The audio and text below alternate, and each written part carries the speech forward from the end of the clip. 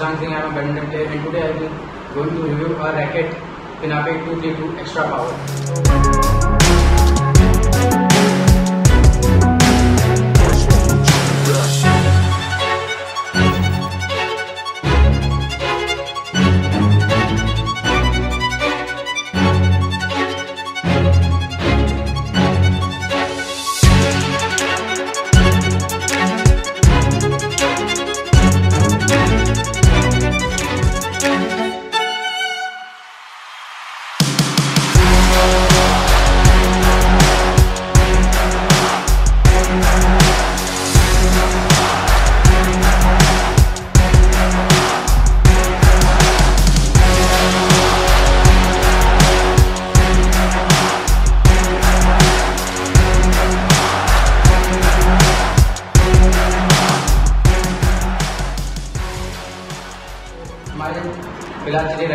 Solve करते हैं। And इसी आज का है अपना रैकेट यहाँ पे टू थ्री टू कवर के अंदर एपेक्स के, देख, आप देख सकते हैं। एपेक्स का कवर है। चलिए इसको पहले निकालते हैं बाहर। तो ये रहा अपने पास यहाँ पे two three two extra power आप देख सकते हैं। मेरा रैकेट यहाँ पे two three two extra power and today can going review यहाँ पे two three two extra power अपने पास है यहाँ पे two three two cherry cherry red colour में क्योंकि आप देख सकते हैं, काफ़ी प्रीमियम सा लुक दे रहा है। देखिए। एंड विद एंड इसमें गाइस मैक्स टेंशन है थर्टी एट एल बट हम इसमें मैक्स कर सकते हैं twenty eight and twenty nine thirty आप जितना लगाना चाहें मैक्स अभी फ़िलहाल तो इसमें ट्वेंटी एट एल हो रखी है with four knots one two and three and four तो गाइस फोर नॉट्स के साथ हो रखा है एंड ग्रिप लगी है अपनी विक्टर की। एंड काफ़ी प्रीमियम सा रैकेट है, देख सकते हैं आप। ये देखिए, काफ़ी प्रीमियम लुक है पूरा। तो तो भाई, ये जो अपना रैकेट की सीरीज़ है, वो है power series racket. Power frame है इसका, ये जो फ्रेम आप देख रहे हैं, ये काफ़ी पावर है। एंड इसका स्ट्रोक जो है स्ट्रॉक जो एंड रैकेट में इतनी पावर है, जो स्ट्रोक इसका काफ़ी अच्छे से पड़ता है, जो हिट है, वो काफ़ी तगड़ा है। एंड आपको इसका आपने इसका बहुत सारा रिव्यू देखा होगा यूट्यूब पे, जो कि खेलते हैं, क्योंकि इससे बहुत लोग। एंड तो गाइस जो इसमें मटेरियल यूज़ हुआ है, वो है हाई मॉडल ग्रेफाइट जो मतलब हाई मॉड्यूल काफ़ी हाई टेंशन का भी मतलब मॉड्यूल का जो ग्रेफाइट मटेरियल होता है, वो इस रैकेट में यूज़ हुआ है, जो कि यहाँ पे लिखा हुआ है, आप क्लियरली देख सकते हैं।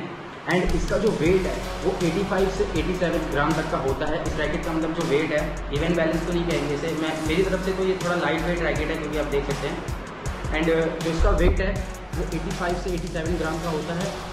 जो बैलेंस है, वो 285 प्लस प्लस माइनस थ्री में आता है। इवन बैलेंस सेकेंड मुझे लगता है क्योंकि ना ना हेड हैवी है, ना हैंडल हैवी है।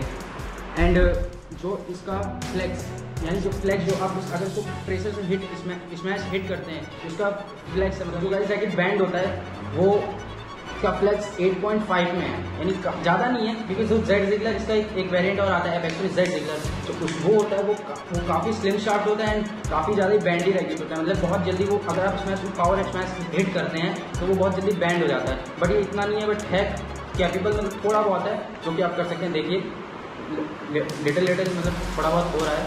ये देखिए एंड साइड से भी आप देख सकते हैं। सो so, फ्लैक्स इसका इतना है एंड मैक्स टेंशन आप इसमें करा सकते हैं। Thirty five L to thirty eight L but अभी तक ट्राई नहीं किया है। इसका एक वेरिएंट और अभी नया निकला है जिसमें जिसमें कि आप forty forty L forty L तक करा सकते हैं।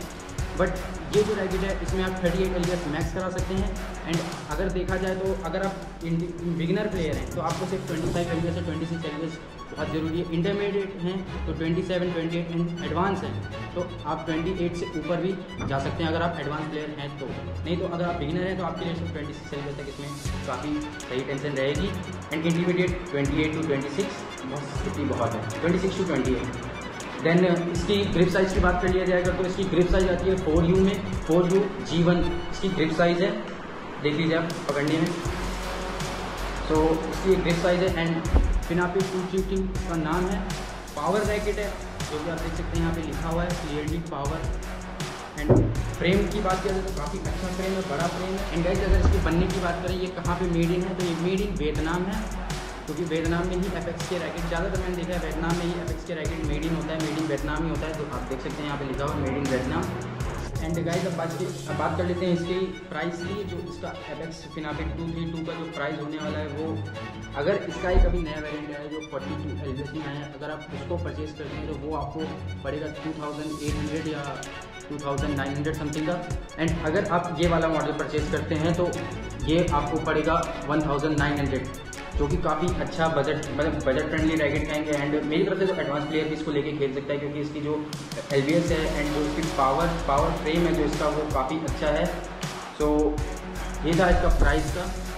वन थाउज़ेंड नाइन हंड्रेड में आपको पड़ सकता है इसका एक्स्ट्रा पावर वाला मॉडल वो जो अभी नया है फोर्टी टू एल में वो आपको पड़ेगा two thousand nine hundred then इसका जो फ्रेम है जो इसका फ्रेम अभी जो जल्दी लॉन्च हुआ था, अभी अपना नैनो प्लेयर थाउज़ेंड जीजी तो इसका जो फ्रेम है उससे थोड़ा मिलता जुलता है, क्योंकि आप देख सकते हैं पास से सेम फ्रेम है जैसा उसका सेम साइड से अपना आपने देखा होगा उसका फ्रेम साइड से तो सेम टू सेम मेरे को वैसा ही लगा तो इसलिए मैंने ये रैकेट परचेज किया है, क्योंकि इसका फ्रेम उससे मिलता जुलता क्योंकि मेरा इससे पहले जो नैनो का थाउज़ेंड जी था, वो टूट चुका था तो उससे मेरे को मिलता जुलता रैकेट चाहिए था, क्योंकि इतना ज़्यादा अफोर्डेबल रैकेट है नहीं, क्योंकि मैंने एक ही बार था तो फिफ्टीन थाउज़ेंड एक बार में देना। एंड देन उसी से मिलता जुलता रैकेट अपना पावर रैकेट है ये सेम फ्रेम के साथ। सो मैंने इसलिए इसको चूज़ किया एंड काफ़ी अच्छा रैकेट है you can go and purchase it on Amazon तो मैं इसकी लिंक आपको डिस्क्रिप्शन में डाल दूँगा। सो ये था अपना फिनापे टू थ्री टू का review thank you guys for watching the video doubles